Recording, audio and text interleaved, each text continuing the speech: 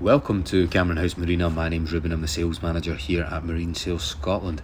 This is a 2004 Doral Monticello, a stock boat. She's a 27 foot weekend cruiser and is the much sought after, rarely found diesel variant, powered by a 300 horsepower 4.2 litre Mercruiser diesel engine with a dual prop outdrive on a Bravo 3 leg. Just complete from machine polish, hull wrap, anti-foul, anode change, teak recondition and detail valet. She's a superb family weekender with an extended range when you compare her to her petrol predecessors. Gallantly afloat with a sleek presence in the water, she beams Canadian charm with a host of useful extras. Let's take a little look in detail. Now it's all going on at the swim platform here. Look how close it is down to the water, so this is definitely the place to be. If you are in the water, there's a grab rail there for you to hold on to, and then your reboarding ladder is just accessed here on the starboard side. Auxiliary motor bracket for an auxiliary engine, or also if you want to bring a tender on this, you can see there are strap and fasten down points located in a sort of triangle on the deck so you can strap something down there water sports as well. Inlaid teak that was just reconditioned. And then look how the cleats are all streamlined so they're popped in and out. That makes the deck clutter free and means you're not bashing your toes off it if you are walking around here barefoot. Now in this first locker we've got the hot and cold controls for the transom shower. Great if you are going for a dip and you want to rinse that salt water off before you go in. That is your vent for the onboard diesel heating system. Then in the back here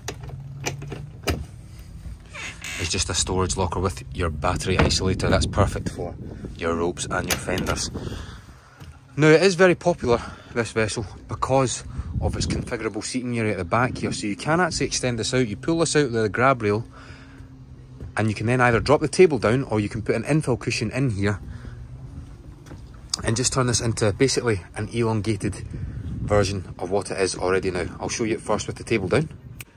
So with that extendable back, we can move it back the way the infill cushion goes in again, and then the table drops down and in goes this big insert so all your friends can top up their tan. Unfortunately, it's not going to be today, a little bit overcast, but it is warm. And then you can see with the canopy arch, the way it's systemed, you just take this back off, collapse the arch forward, and then soak up some UV rays. So you can see that's your infill cushion there. Then you've got a wee space for your legs, two or three people on this side, another two, three in the back bench. And what a superb position it is back here almost overhanging the water. You're overhanging the swim platform and that makes you feel really one, close and connected with the water. You've got canopies that obviously will enclose all this area here, but it is quite a nice day, so we thought why not just leave it open. It's Clarion stereo speakers, one there, another one underneath next to the diesel heating vent.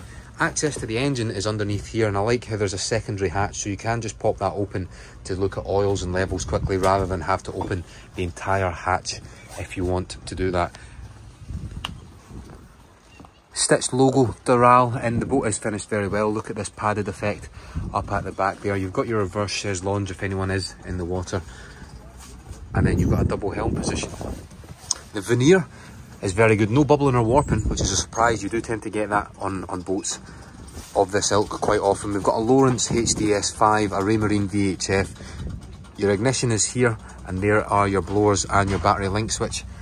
Webasto diesel fired heating your engine warning lights are actually here in this blacked out panel. They'll light up if you have a fault with the engine. Then you've got your searchlight and then your electronic trim tabs. Electric anchor winch and then just all of your buttons there in front of you and another control for the stereo system. Depth finder just on the right hand side and then access out onto the bow if you want to go up and use those foredeck bathing cushions. Well, that couldn't be simpler. One, two, three, away you go.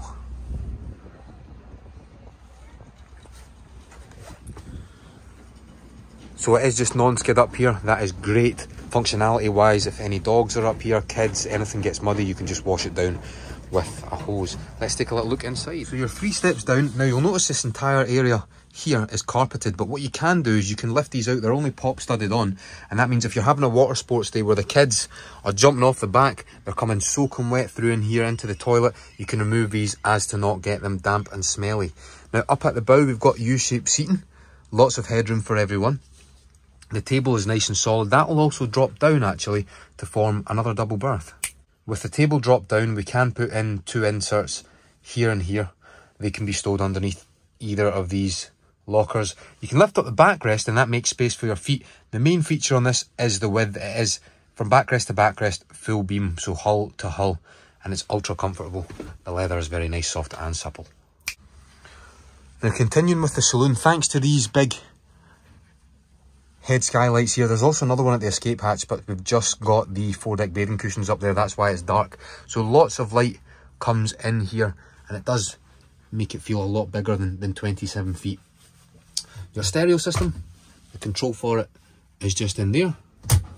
And then you have the hidden alcohol cabinet. So,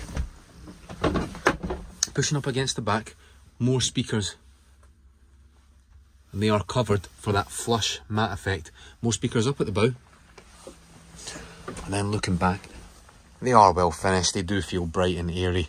And then condition wise, they're, they're super. This Alcantara suede running down both of the shelves there so you can put items up in the back. You can also put items actually underneath each of these sides. There are storage lockers, so if we lift this one up, you see, nice big clean locker. There's a table leg in there in case you want to replace the the back section with, with another leg. When I say that, it means in case you want to drop it down, so you've got your external spare leg there. But we put that back across. And we move this across. So the carpets have been shampooed, all the leather's been conditioned, and it's been detail valeted. So you've got blinds that you can pull down there, roll down blinds on either side, and then these portholes will open just for your ventilation. Escape hatch, and I hope you never need it, is just above your head. There is always a certain charm about Dorals. I'm not 100% sure what it is. I think it's probably the textiles, the layout, primarily probably the build quality. They are very, very solidly put together boats. It's nice having the galley port side and you can see there is full standing headroom there as well just before you access down into the aft berth. But just opposite from the galley, we do have the heads. So that's a pump flush sea toilet with a waste tank. Your shower faucet will just come out, clip on, and that will turn us into a wet head. And then you can see down on the right hand side there is the onboard drain. But loads of space, inbuilt toilet roll holder. Amenities can go in there and then shampoo, toothbrush, shower gel, the likes of that also in there too.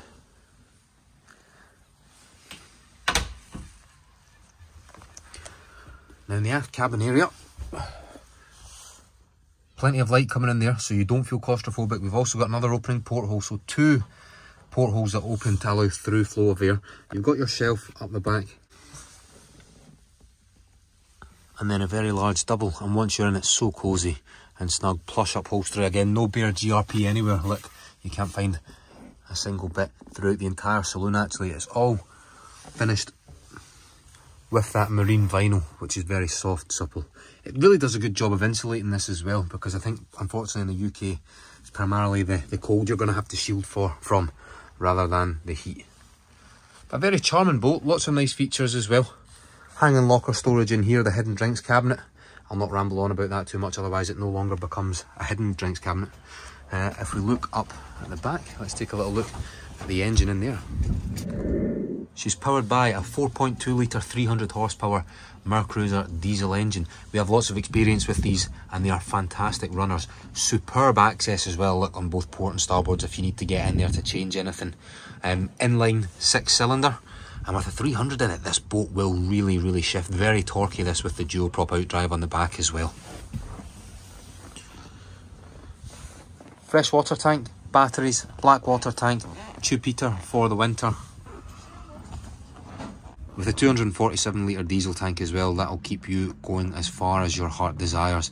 Plenty of runtime during the day with that and the economical engine.